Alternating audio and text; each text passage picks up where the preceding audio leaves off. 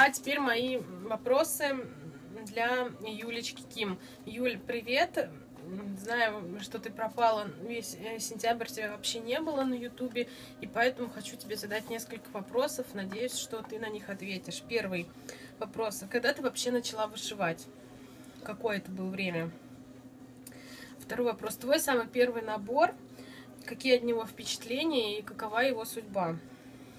Третий вопрос. Что ты любишь вышивать? Твои любимые сюжеты. Четвертый вопрос. Ведешь ли ты, ведешь ли ты какой-нибудь рукодельный дневник? Пятый вопрос.